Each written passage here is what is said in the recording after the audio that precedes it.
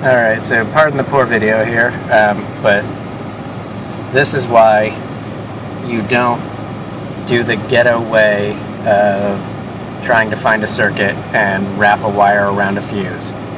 Here's the tach, which in this 90 Civic, the circuit that the tach is on is also the turn signals and the seat belts and the reverse lights.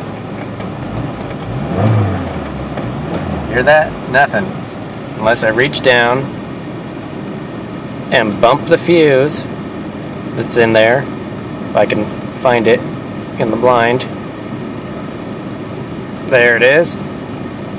Yeah, if I bump the fuse and it comes on because one of the little ports had a wire wrapped around it, and so that little socket is now widened and if it's not sitting in there just right, there it goes. So I'll have to get in there. Hopefully, I can rebend the socket.